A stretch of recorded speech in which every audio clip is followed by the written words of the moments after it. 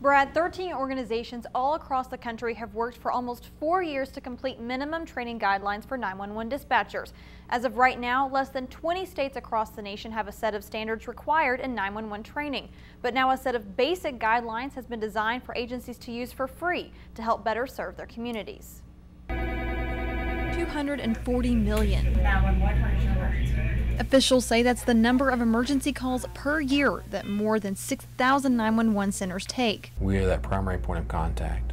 And it's very important for it to have the appropriate training. But less than half of the states have any training required of their 911 dispatchers. We have worked together to come up with a guideline that any entity can follow.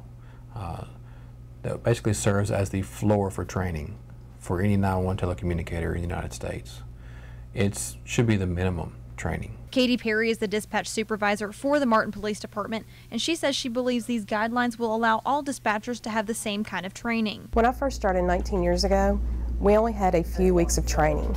It does not compare to the training that we receive now. Officials say that these training guidelines will also help in multi-jurisdictional emergencies, helping smooth over the workflow and potentially saving more lives. It's very broad. It covers a multitude of topics and subtopics, cross-training between all disciplines, emergency response, law, fire, EMS, rescue, emergency management. Officials say Weakley County 911 was chosen because their model is similar to around 85% of all call centers across the nation and helped find a reasonable minimum requirement for all agencies to use. If you're in New York City, you should get the same level of training that you get in Jackson, Tennessee. And right now, that's not true. Right now, Tennessee already has a required set of standards for 911 training in place. However, emergency officials will be working in Tennessee this year to raise and exceed the current standards to include these new guidelines.